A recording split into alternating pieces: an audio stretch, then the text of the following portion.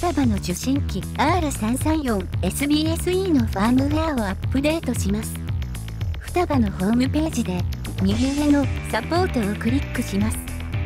ソフトウェアダウンロードをクリックします。カー用をクリックします。カー用レシーバーをクリックします。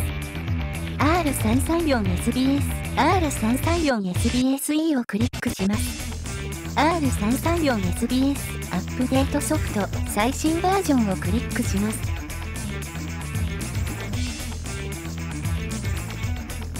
ダウンロードされます。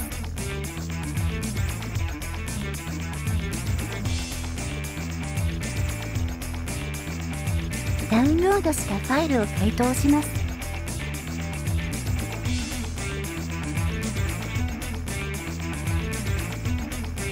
解凍したフォルダ内にある双葉フォルダをコピーします。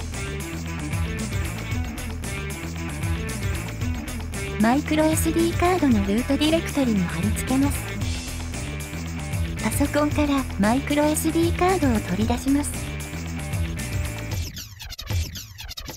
7px にマイクロ SD カードをセットします。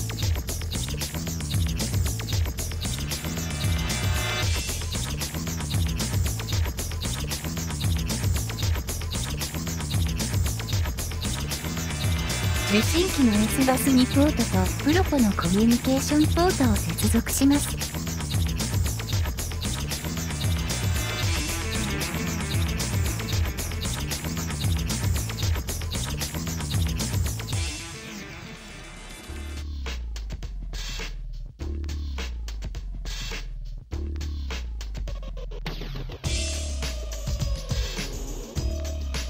7px でメニューから受信機アップデートを表示させます。受信機のリンクスイッチを押したまま電源を入れます。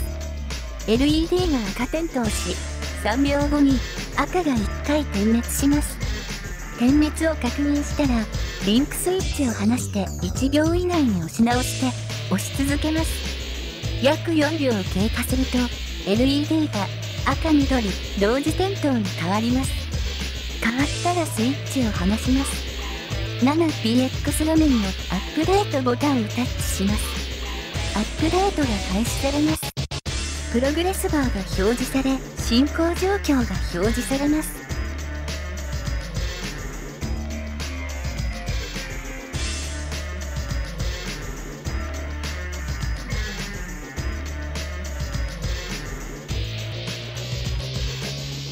プデートが完了するとメッセージが表示されます。受信機の LED は緑点灯になります。電源を切ります。以上で完了です。お疲れ様でした。